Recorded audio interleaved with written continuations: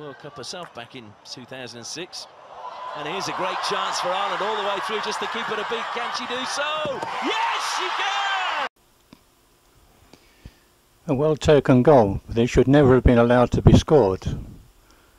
This intentionally raised hit, and there's no doubt it is intentionally raised, is pure camogie, it's not hockey. Intentionally raising the ball with a hit is illegal in hockey.